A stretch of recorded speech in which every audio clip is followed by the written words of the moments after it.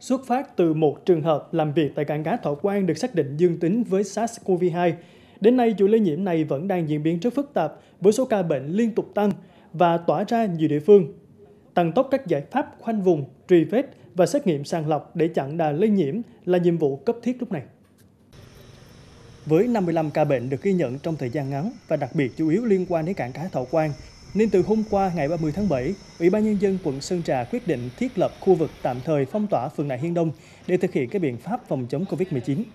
Cùng với việc lập các chốt kiểm soát người ra vào địa bàn, sáng nay, phường Nại Hiên Đông đã tiến hành xét nghiệm sàng lọc SARS-CoV-2 cho toàn dân. Thì tháng này đã triển khai là 10.000 dân, ừ, dự kiến là xét nghiệm 28 ngày trong một ngày rưỡi à, để mà mà, mà, mà, mà phát hiện những cái ca bệnh trong cộng đồng. À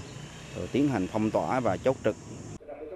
Trung tâm Kiểm soát Bệnh tật Đà Nẵng cho biết, trong ngày hôm qua 30 tháng 7, chuỗi lây nhiễm liên quan đến cảng cá Thọ Quang đã ghi nhận thêm 45 ca mắc mới COVID-19 và tiếp tục tăng lên trong ngày hôm nay.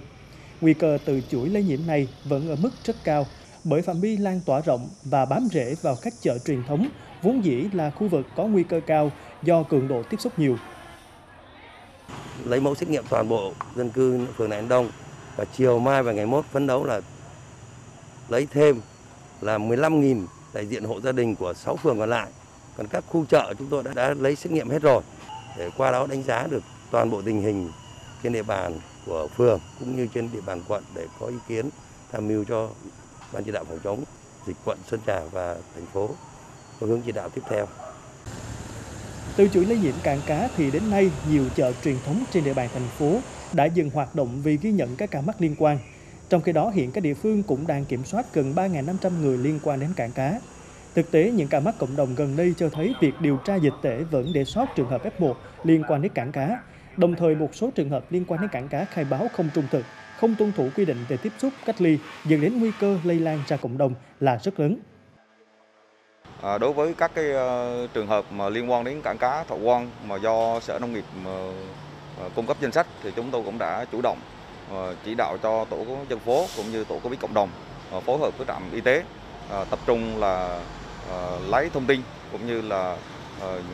điều tra dịch tễ để kịp thời đưa vào các cái diện F1, F2 hoặc là F liên quan để tập trung xử lý. Trên địa bàn quận thì qua rà soát thì có 177 cái đối tượng này và quận cũng đã tiến hành xét nghiệm ngay rồi cho ở nhà chờ kết quả và xét nghiệm liên tục 3 ngày một lần thì hiện nay là trên các địa bàn chợ thì đa phần là 177 đối tượng này là hoạt động ở các chợ